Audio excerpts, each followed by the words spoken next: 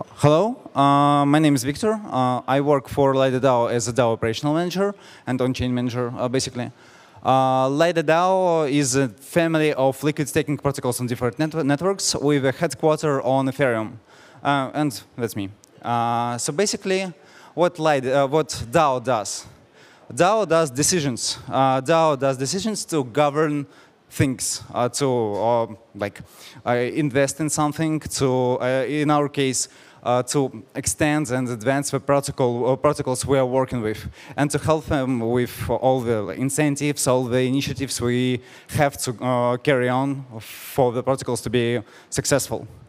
Uh, and most of the time, like 99% of the time, uh, DAO decisions is something which requires voting.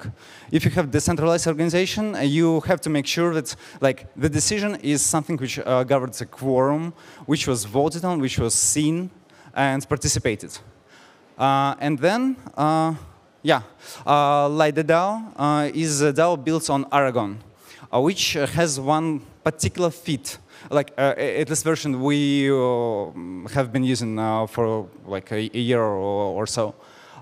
it bundles together both decision-making thing, so basically your DAO has to vote to like have decision made uh, and uh, transactions uh, performed by the name of the DAO, like from the DAO's name, right? and what we found out kind of hard this way is that most, absolute most of what we have to do in order to push uh, protocols we work with, uh, we, we, develop uh, further uh, is most of transactions we have to do are operational ones. Either that's uh, sending rewards out uh, for different uh, liquidity pools or um, like uh, tweaking uh, protocol parameters for different actors to act, to be able to just execute what they have to do. so basically, those are, truth to be told, pretty boring things and mostly uh, like operations uh, things uh, which don't require the like big time decision most of the time. Yeah. So basically, DAO members, like the DAO members, have to choose, have to choose wisely, have to. Oh, that's kidding. Uh, what, what, what, was I about? Okay, uh, it's really hard to take uh, to get attention and enough attention to gather quorum, to uh, have decisions which move uh, operational uh, part of the things. And if most of like what I am doing is operations, I'm pretty much concerned about this tough choice folks have to make. so what do you do if like faced with such a choice? Uh, one of the th directions where you could take is to try to uh, get DAO make less decisions. Those would be more serious ones, more like long-term ones. But what are the venues to get there? Uh, you can bundle actions, bundle decisions in one vote. vote. Uh, it's suboptimal, but for uh, we use snapshot uh, as like second to Aragon, and we try to uh, get DAO make decisions on snapshots, uh, which is a bit easier, like it's gasless and stuff like this. You, you know it's better uh, than me, I guess. Uh, and then execute them in bundles through Aragon votes as a transaction vehicle. Uh, you can have uh, committees, which would most likely have multi-sigs and stuff like this. So basically, DAO can decide and dedicate a small group of people to worry about one particular thing, which like how things scale uh, in many DAOs in many organizations, actually.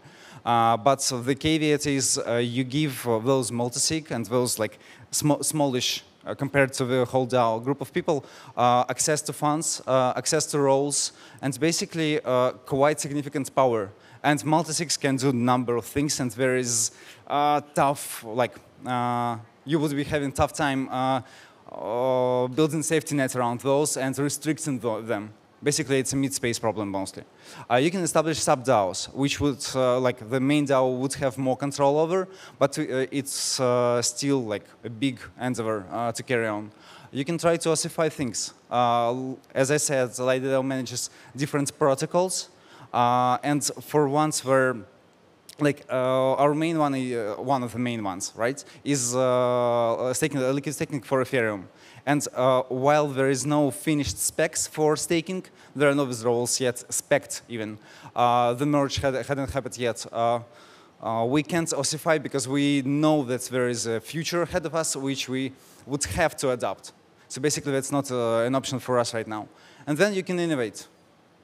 Uh, so for us, innovate it was. And so that's like that's how we invented EasyTrack.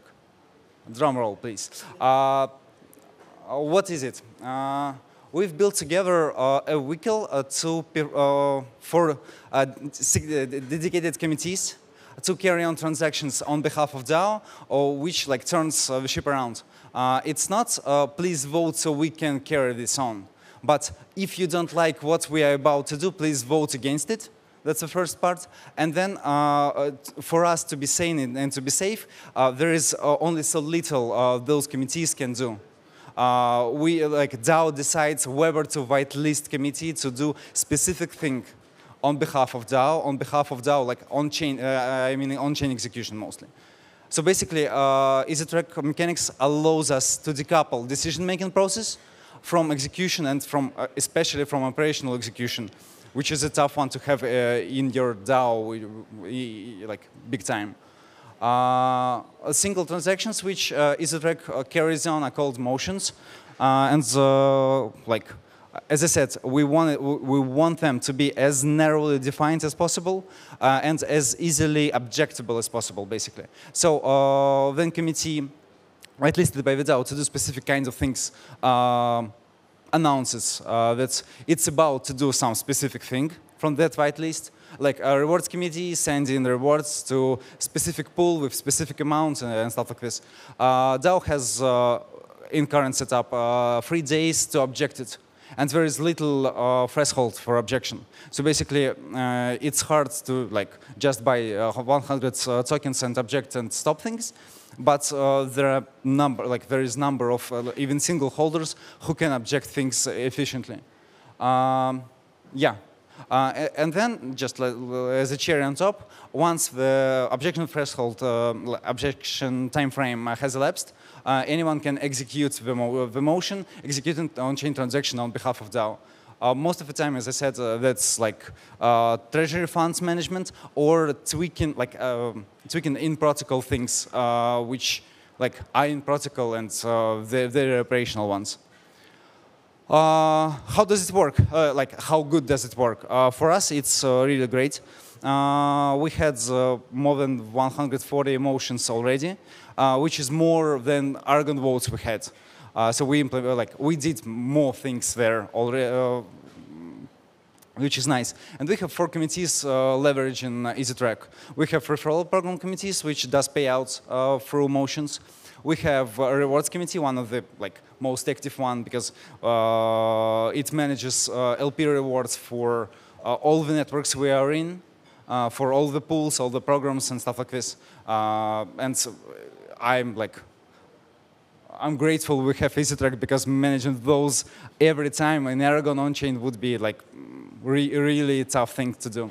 Uh, we have a grant committee uh, getting funded uh, by EasyTracks. And we have node operators committee, which um, tweaks internal params, uh, like basically allowing node operators to ask to use more keys once we get those like checked and know they are good and not requiring the whole DAO to make decisions on whether just to like uh, give folks uh, the option to do their, their work.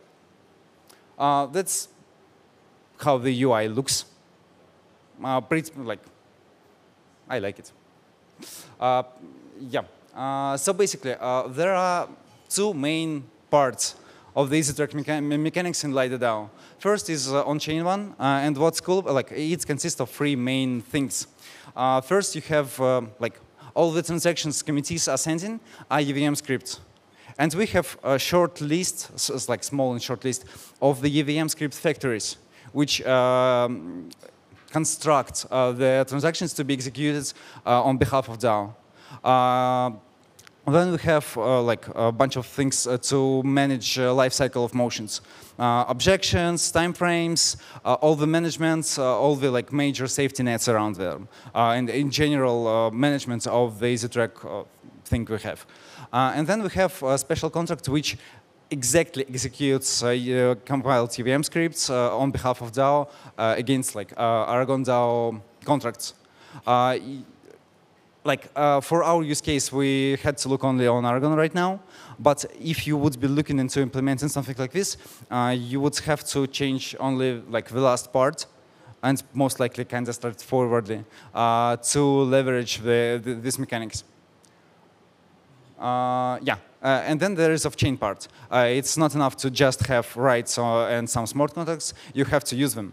Uh, so basically, we have committees, currently four of them, We've dedicated areas, like, as I said, rewards, referrals, grants committee, and node operators, like internal protocol thingy. Um, those committees should have processes.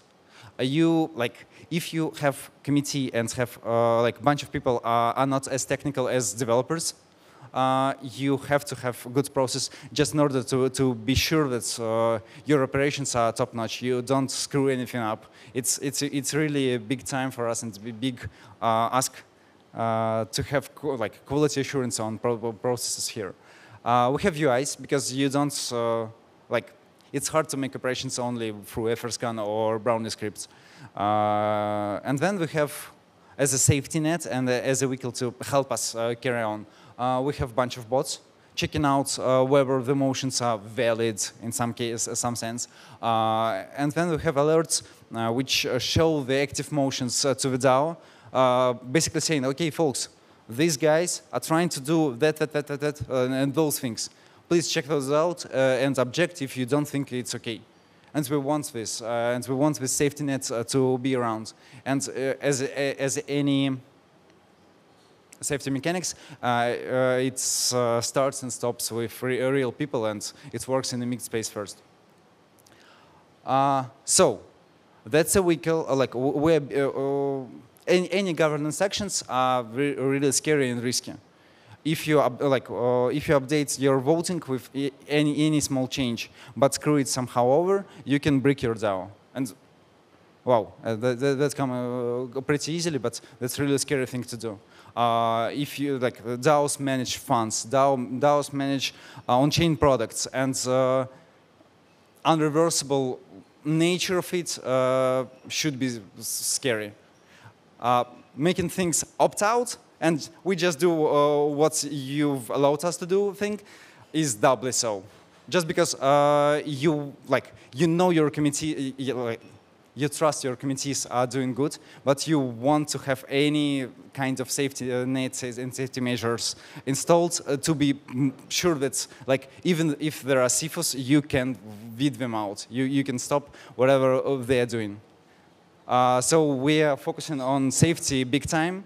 Uh, before the release, we focused on uh, making motion, like making sure that motions are easy to object. Uh, just to stop it. Uh, we have limits on any uh, parameters in the mechanics. We have minimal time frame, like no motions in our setup on, on a smart contract level can be set up to run for, for less than two, two days. Uh, there is uh, limits on uh, maximal um, objection thresholds and stuff like this, stuff like this, and stuff like this. We have emergency brakes built in. Like uh, DAO can revoke the rights. That's straightforward one, but it would take the time and it would take Aragon vote to do it. Uh, and we have uh, emergency uh, pause button, uh, which uh, is controlled both by the DAO contracts and dedicated multisig to stop EasyTrack, which is a nice thing to have. We have alerts and a bunch of them and are working on making them more efficient, more specific, and so on and so on and so on. And then on top of alerts, you should have someone to pay attention to and make sure your alerts uh, don't uh, overcrowd and like um, don't uh, interact with uh, cat gifs all the time. So you have to leave uh, time for that. So basically that's our current setup. Uh, and then we are, we are working on wider and more tight safety net basically uh, making more on-chain checks where we can do them. Uh, that's like mostly for budget things uh, and all this stuff here. Uh, we're working on uh, cross-chain, uh, like off-chain cross checks and all this stuff.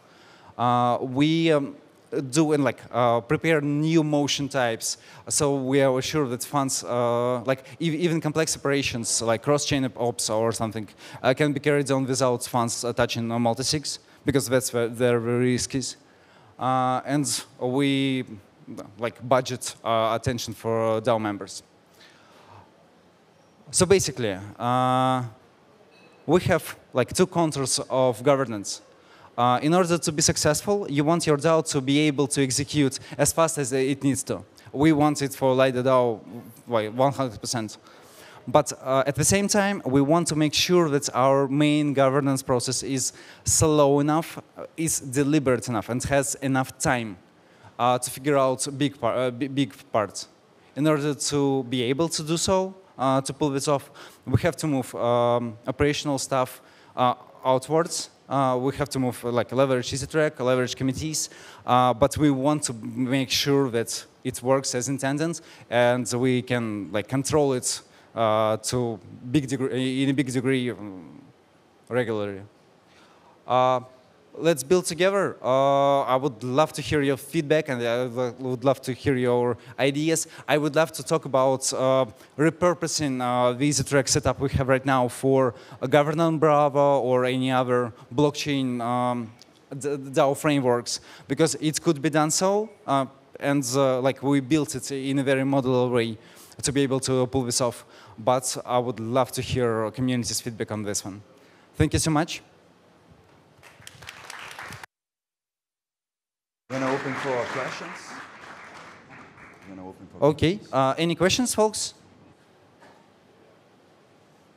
Uh, that's that's now, I guess. Let's move out. Yeah. Thank you.